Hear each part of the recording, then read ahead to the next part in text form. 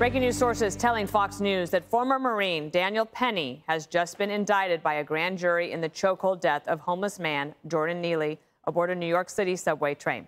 Bryan Llenas has the very latest. Hey, Bryan. Hey, Dana. Well, we expected the vote to happen today, and it did. According to two sources, the grand jury has voted to indict Daniel Penny. The 24 year old Marine veteran will now face trial for the chokehold death of Jordan Neely, the 30 year old homeless, mentally ill man that witnesses say was threatening passengers on board that New York City subway last month. We don't know the exact charges that he's being indicted on yet, but he was facing a second degree manslaughter charge. This grand jury had been hearing evidence and witness testimony on this case since May 31st. They weren't considering whether Penny was guilty or not guilty, but rather whether there was enough legally sufficient evidence and reasonable cause to believe that a crime had been committed here. The bar for indictment is low. They only needed 12 of the 23 grand jurors to vote yes to indict, and they have. There will now be a trial. The Manhattan District Attorney Alvin Bragg says said that they believe there was enough evidence, witness interviews, photos, videos in this case to prove that Penny recklessly caused the death of Neely by keeping him in the chokehold even after he stopped moving.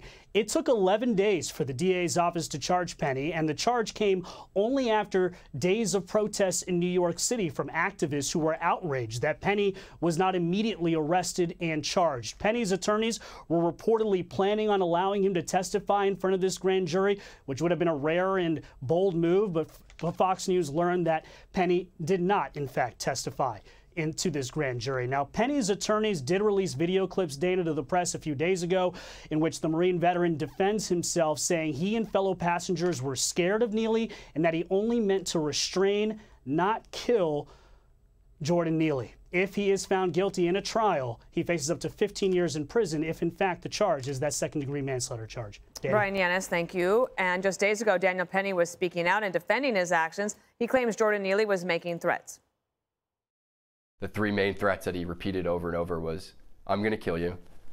I'm prepared to go to jail for life, and I'm willing to die. We were all scared. Mr. Neely was yelling in these passengers' faces, and they looked terrified.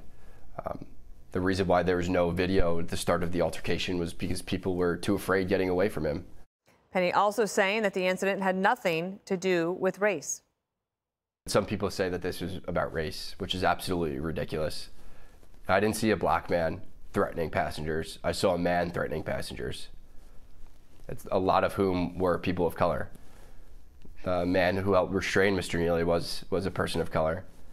And a few days after the incident, I, I read in the papers that uh, a woman of color came out and called me a hero. What I don't believe that I'm I'm a hero, but uh, she was one of those people that I was trying to protect. All right, so this news just breaking. Greg, to get indicted in Alvin Bragg's New York, you have to try to stop a crime from happening. Mm, exactly. then you get indicted. yes, there you go. By the way, uh, Penny's wrong. It is about race. That's what they're going to make it in the media about race. Uh, I think the indictment's expected. This is a political case because we've politicized safety. The hard left has politicized safety. You can no longer defend yourself and you can no longer defend others because the person you are defending against is, quote, homeless mentally ill person. Never mind that he's also a violent, self destructive felon who beat women and children. The spin will always be homeless, mentally ill black man.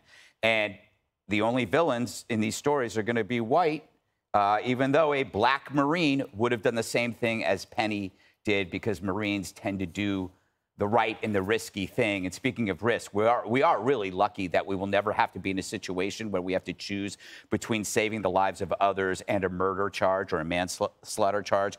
But we should also be lucky that someone like Daniel Penny will be there because we're too chicken not to do what he does. Right. People were grateful. Uh, grateful for his actions. One way to prevent this whole thing from ever happening, Alvin Bragg should really think about this when he goes home at night. Maybe lock up. Mm-hmm. Maybe lock up in a prison or in a hospital deranged felons like the deceased. If you don't do that, then we need some sort of transparency.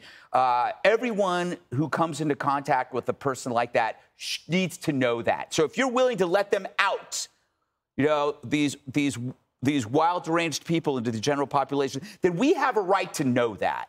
And that means if you want to give them the freedom, it should come with a blinking armband or a, blink, a blinking ankle bracelet right? Because at least they're free. That'll suffice. Similar incident just happened uh, this week, and it's happening a lot. People are trying to step in because you have brazen, unstable individuals terrorizing people, and the cops are either not there or their hands are literally metaphorically tied. Uh, when, once you take away the rights to defend yourselves after uh, paralyzing the police, what do you expect? Mm-hmm. I want to give credit for this phrase because it was not mine. Uh, Paul Mauro, who you've seen on the show before, he's or all the shows. He's said, Jesse, that this is one of those cases where it's about class, not race, and it's the Uber class versus the subway class. Mm. So you have people who take the subway who know what it's like and have to deal with it every day. And so when this does go to trial, if it does, the jury of his peers will be people who are made up of um, either a mix of those or probably more people who ride the subway daily and might be sympathetic. And the Uber class used to be the subway class, but the subway's too dangerous, right. so now they're paying more to ride Uber. Yep. They'll probably erect a statue of Neely. Why not? He's a deranged, violent drug addict. Let's take down Teddy Roosevelt and put something up of him. I'm sure either it's Trump or DeSantis, all of the Republican candidates for president are saying they're going to pardon this guy if he's convicted. I'm sure he's got a nice fat GoFundMe page going because he deserves all the help he can get. And I hope from the bottom of my heart that there's one New Yorker with a heart on this jury that can make sense of this thing. Now let's look at it through race. Let's do it, right?